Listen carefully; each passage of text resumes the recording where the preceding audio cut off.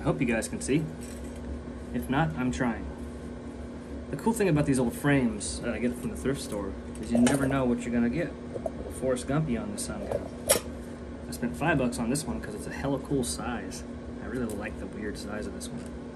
But you never know what you're gonna find in here. You might find a, a letter from a husband to his wife, or maybe even a dollar bill. You never know. Probably not, but that's the fun of it.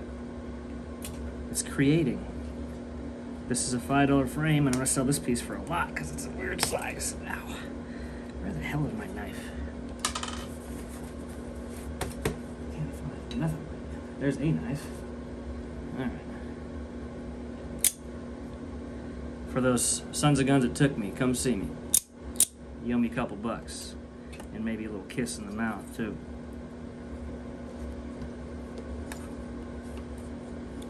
Yeah, that one's a pain in the butt right now, but I got glass under there.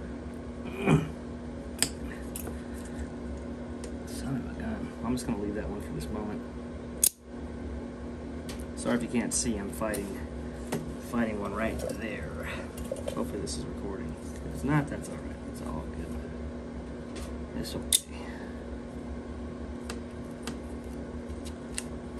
What do we got?